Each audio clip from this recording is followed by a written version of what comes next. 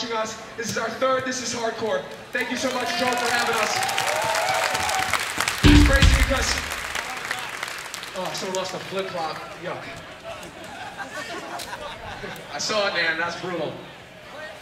What are those? Uh, when we first got asked to play this, I think we played it in 2012 or 2011, and we were so fucking blown away that we were a part of this.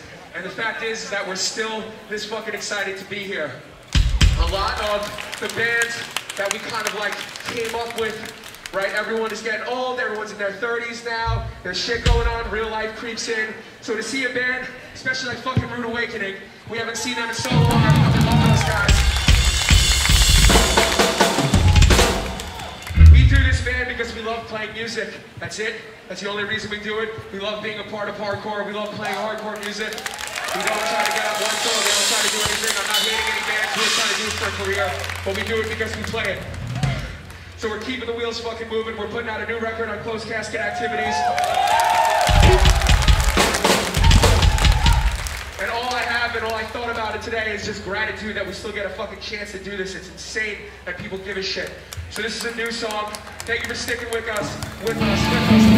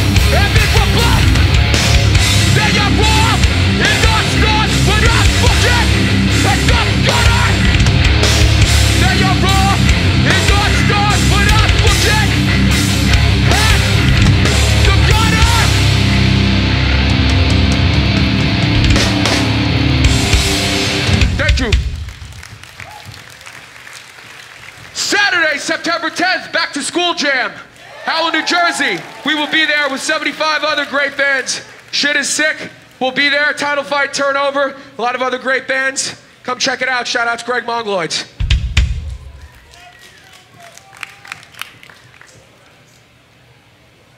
There is a rising tide of this sense lately where it's like, you know what, man?